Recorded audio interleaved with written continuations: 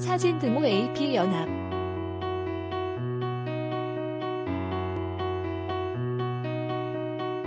쿠키뉴스 김찬홍 기자 등호 김광현 33 세인트루이스 카디널스 의 보직 변경 가능성이 제기됐다.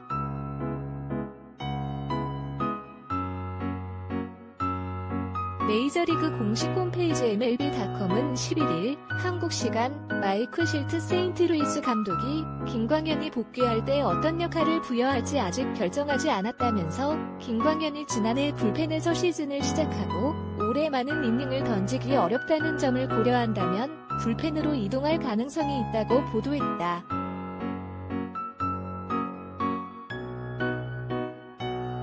김광현은 지난 10일 왼쪽 팔꿈치 염증 증상으로 10일짜리 부상자 명단 1에 등재됐다. 김광현에 따르면 지난 7월 23일 시카고 컵스전에서 팔꿈치 통증을 느끼기 시작했다. 그는 긴 시즌을 치르다 보면 있을 수 있는 통증 정도라고 말했다.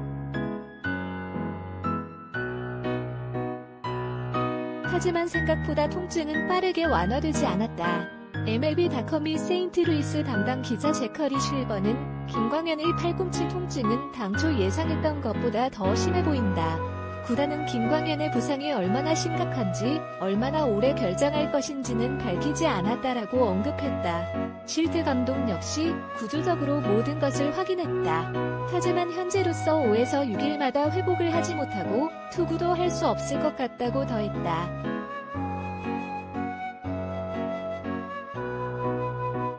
김광현의 복귀 전망이 어두워지면서 보직 변경 가능성이 제기되고 있다. 김광현이 많은 이닝을 소화하지 못할 것 같다는 예측이 생기면서 짧게 공을 던질 수 있는 불펜 투수로 옮길 거란 현지 언론의 보도가 이어지고 있다.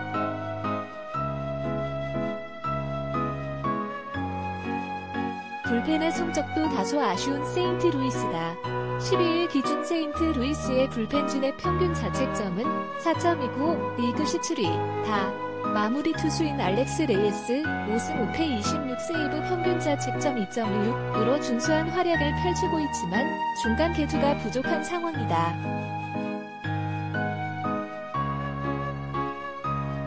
또한 현재 세인트 루이스는 선발 투수가 포화 상태다. 아담 웨인라이트가 건재한 가운데 부상으로 장기 이탈한 잭 플래허티와 마일스 마이콜라스가 복귀를 앞두고 있다. 또한 트레이드를 통해 베테랑 존 레스터와 J.A. 햅을 영입했다. 선발 로테이션이 이미 가득 찬 상황이다.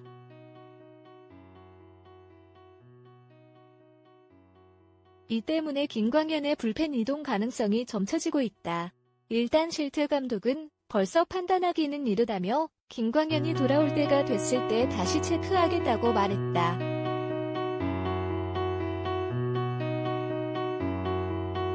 한편 올 시즌 김광현이 부상자 명단에 오른 건 이번이 세 번째다.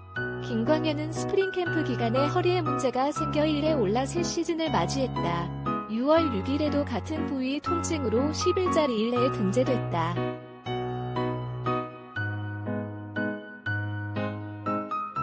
KCH 연구사구의 쿠키뉴즈.com